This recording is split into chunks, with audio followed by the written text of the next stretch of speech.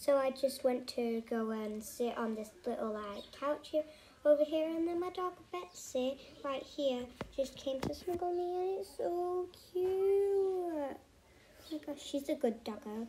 In from the last video, and oh my god, so cute.